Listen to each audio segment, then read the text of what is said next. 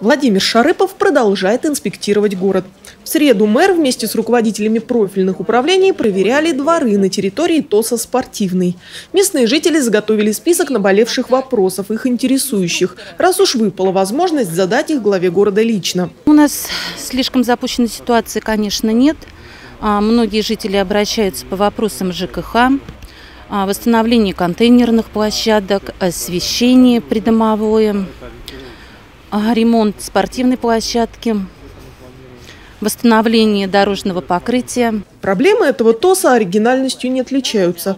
В первую очередь люди пожаловались на стихийные свалки. Надо просто думать, как этого не допустить образования несанкционированных свалок.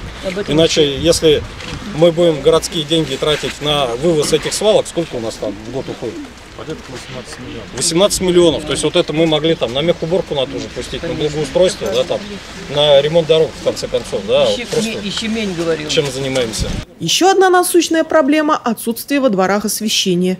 Детям вечером не погулять, взрослым до магазина сходить тоже проблема. Жители ждут милости от электросети. Но оказалось, проблему можно разрешить быстрее. С управляющей компанией договориться по светильникам над подъездом, уже будет светло. Так, чтобы вот не, не- сидеть, не ждать там у моря погоды.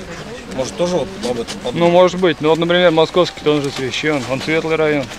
Хотя рядом. Московский микрорайон также вот над подъездами светильники. Да, но у них всё в- светло. В оплату мест общего пользования у жителей. Я там живу в Может быть, не районе. спорю. Оказалось, нерешаемых вопросов в спортивном нет. Главное – наладить взаимодействие ТОСа с городской администрацией. ТОСы это, безусловно, у нас помощники администрации, и через ТОСы мы видим те проблемы, которые необходимо решать срочно, и видим вот эти локальные проблемы, и видим проблемы общие, над которыми нам вместе с депутатами городской думы надо вместе работать. Наталья Гутарина, Антон Осипов, РТВ Иваново.